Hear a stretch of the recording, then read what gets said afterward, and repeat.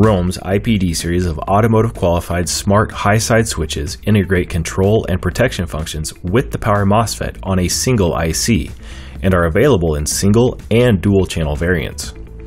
All variants include thermal shutdown, overload detection, undervoltage lockout, and overcurrent protection.